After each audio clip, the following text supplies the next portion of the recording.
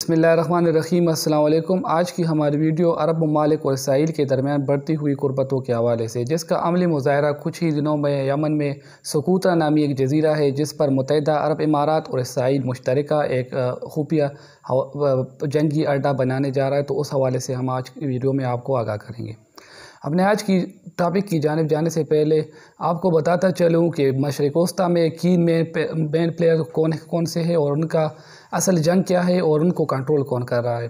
تو سب سے پہلے سب سے بڑا اور مین کی پلیئر جو ہے وہ سعودی عرب ہے اور اس کے علاوہ جو عرب ممالک ہے جو ان کی لائز ہے وہ ہے۔ اور اس اس کی کمان جو ہے السعود نامی خاندان کے پاس ہے اور اس کے علاوہ ان کے جو الائز ہے ان کے پاس ہے اور ان کی سرپرستی امریکہ کر رہا ہے۔ اس کے علاوہ ایک اور گروپ ہے ترکی اور ایران کا۔ ترکی سے سعودی عرب اور عرب ممالک کا جھگڑا بس صرف اتنا ہے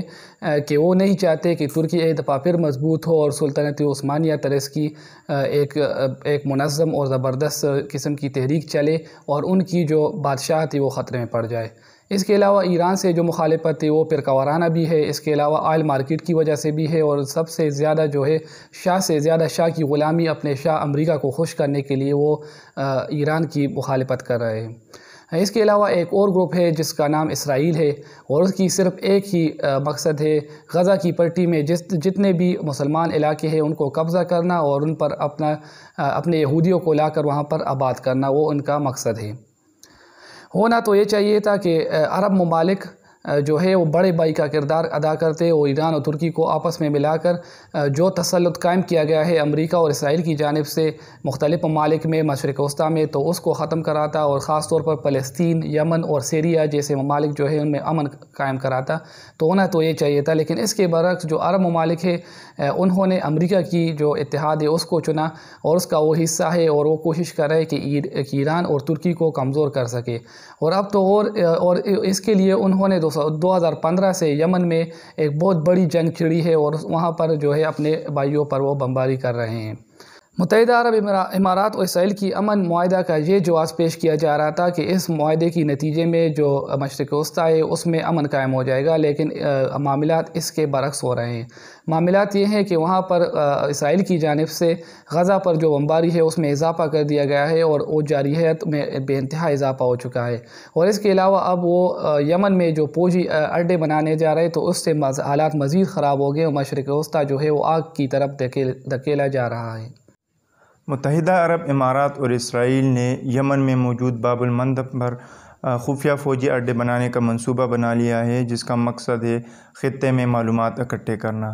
یمنی جزیرے پر خفیہ اڈے بنا کر وہ یمن کے حوالے سے اسٹریٹجک معلومات اکٹھی کر سکے گا۔ متحد عرب ممالک دو ہزار پندرہ سے یمن میں جنگ کر رہے ہیں، لیکن ابھی تک ان کو کوئی خاطر خواہ کامیابی حاصل نہیں ہو سکی۔ اس سلسلے میں عرب ممالک کو برطانیہ اور امریکہ کی پوری مکمل حمایت حاصل ہے اور یہاں تک کہ ان کے جو ایکسپرٹس ہیں وہ ان کی جنگی مشن کا باقاعدہ جو ہے تو نگرانی بھی کر رہے ہیں۔ فرانسیسی زبان میں شائع، خبریں شائع کرنے والی ایک پلیٹ فارم ہے جس کا نام ہے جے فارم انہوں نے یہ دعویٰ کیا ہے کہ یمن میں واقع سکوترا نامی جو جزیرہ ہے وہ تین ہزار چھ سو پچاس مربع کلومیٹر پر محیط ہے، جہاں دونوں ممالک خفیہ فوجی اڈے بنانے کا ارادہ رکھتے ہیں۔ اسرائیل پچھلے چار سال سے اس کام کی کوشش کر رہا تھا اور اب جا کر متحدہ عرب امارات کے تعاون سے ہی یہ ممکن ہو سکے گا۔ یہ جزیرہ بحرہ ان میں جنوبی یمن سے تین سو پچاس کلومیٹر کے دور کے دور ہے، وہاں پر واقع ہے اور جو کہ یمن میں موجود سب سے بڑا ایک جزیرہ ہے۔ جے فورم نے یہ دعویٰ کیا ہے کہ دونوں ممالک کی جو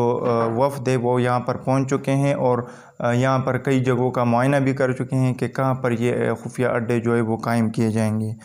اس کے بعد بات آتی ہے امریکہ کی، تو امریکہ اسکیل میں متحدہ عرب عرب ممالک یعنی اور اسرائیل کی وہ اسرائیل کا ساتھ دے رہے ہیں۔ اور اس وقت جو امریکہ میں مقیت ہے، تقریباً ستاون لاکھ یہودی ہے ان کو خوش کرنے کی کوشش کر رہے ہیں اور آئندہ الیکشن میں ان سے ووٹ لینے کی بھی صدر ٹرمپ جو ہے تو وہ کوشش کر رہا ہے اور باقاعدہ اپنا ایک خصوصی نمائندہ ہے پومپو، وہ عرب ممالک میں اس کو بھیج رہے ہیں اور وہاں پر جو ہے تو وہ ایک ایک کے پاس جا کر اسرائیل کے ساتھ امن معاہدے میں دعوت دعوت دے رہا ہے وہ ان کو۔ لیکن ہوا یہ کہ سوڈان اور بحرین سے ان کو جب انکار ملی تو اس کے بعد یہ بظاہر جو یہ معاہدہ ہے، یہ زیادہ دیر چلتا نظر نہیں آ رہا۔ ان تمام صورتحال کا جائزہ لینے کے بعد عرب ممالک جو ہے وہ اپنے اقتدار کی خاطر پوری مشرق وسطی کو آگ کی طرف دھکیلنے کی کوشش کر رہا ہے۔ اسلامی تعلیمات کی روشنی میں اگر اسرائیل اسرائیلی کی جیو اسرائیلی جو حمایت ہے، ان سے اگر عرب ممالک انکار کر دیتا اور تمام مسلم ممالک کو او آئی سی کے پلیٹ فارم کے تحت اکٹھے کر لیتا، یکجا کر لیتا، تو وہ زیادہ بہتر تھا۔ پاکستان کی بات کرتے تو پاکستان اس ان تمام صورتحال کو بخوبی سے دیکھ رہا ہے اور ابھی بھی ایران، ترکی اور عرب ممالک کے درمیان حالات کو نارمل کرنے کی کوشش کر رہا ہے اور اسی سلسلے میں بہت سی ملاقاتیں بھی ہو چکی ہے الحمدللہ قرآن اور حدیث کی جو باتیں ہیں وہ ایک ایک کر کے دنیا کے سامنے سچ ثابت ہو رہی ہے اور دنیا کے سامنے آ رہی ہے اور انشاءاللہ آخر میں کامیابی جو ہے وہ مسلمانوں کی ہی ہوگی۔